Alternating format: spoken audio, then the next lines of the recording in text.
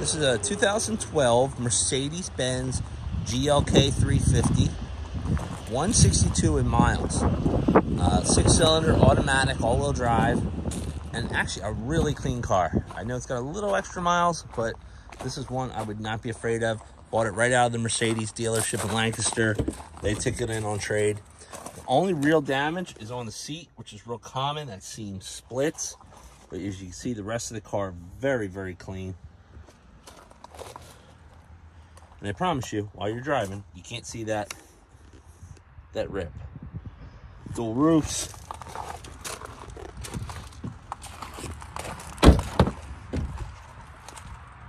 Back seat, very nice.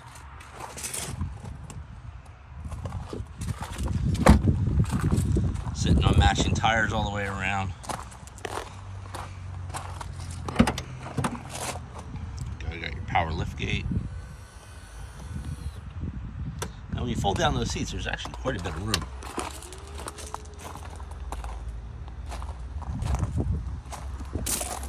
See, even the wheels, even the wheels are, there's hardly a mark on the wheels. Very clean.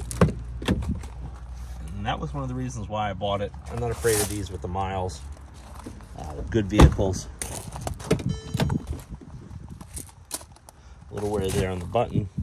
It's an easy fix if you want to on that. This car, I'm not replacing it. I have a GL that I'm doing a video of next. That one I will because it is pretty much more significant.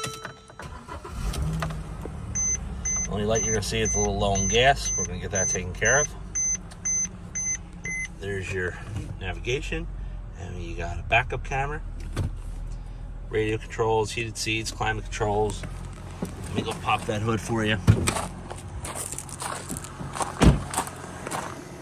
PA inspect it until 2025.